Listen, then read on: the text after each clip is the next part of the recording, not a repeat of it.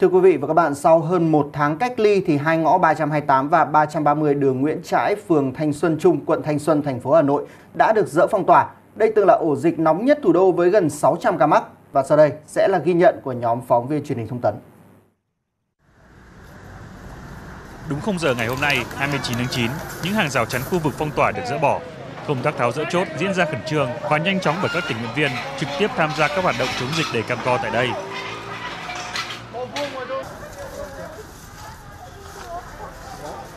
Sau hơn một tháng sống trong khu vực phong tỏa, nhiều người không giấu được niềm vui trong thời khắc này. Chỉ cần nhìn thấy nụ cười của người dân và cảm thấy sự an toàn của người dân là lúc nào chúng em cũng sẵn sàng hy sinh mọi thứ vì bọn em là tuyến đầu mà. Hôm nay uh, gỡ phong tỏa thì bọn em sắp sửa được về với gia đình thì cũng rất là nhớ gia đình.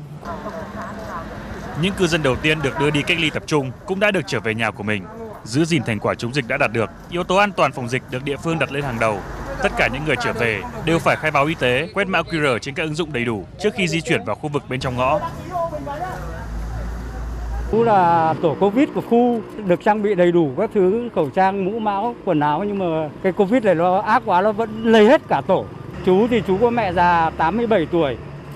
Mẹ chú với con chú thì lại F1, vợ chú đi tiêm thì vợ chú lại bị dính là F0 thì lại lên Thanh Nhàn làm. Thế giờ vợ chú sau 13 ngày thì vợ chú cũng âm xét nghiệm mấy lần âm tính rồi. Thì chú rất mừng là hôm nay đây bọn chú đã được ờ, về với gia đình, về với cái nhà.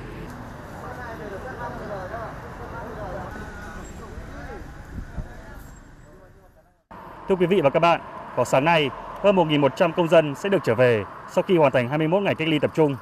Trước đó, từ ngày 1 tháng 9, những công dân này đã được đưa đi cách ly tại khu ký túc xá đọc FPT và Trung tâm Giáo dục Quốc phòng an ninh Đại học Quốc gia Hà Nội để đảm bảo an toàn phòng chống dịch. Thưa quý vị, có thể nói là việc đưa người dân lên khu cách ly tập trung đã ngăn chặn được lây nhiễm chéo trong ngõ và từng bước giúp ngăn chặn dịch bệnh một cách tốt hơn. Hiện nay trên địa bàn thành phố Hà Nội đã cơ bản khống chế được dịch bệnh và từng bước thực hiện nới lỏng giãn cách xã hội và khôi phục hoạt động kinh tế xã hội. Tuy nhiên các cấp chính quyền và người dân cũng không được phép lờ là chủ quan vì các biến thể của Covid-19 vẫn rất nguy hiểm và dịch có thể tái bùng phát bất kỳ lúc nào.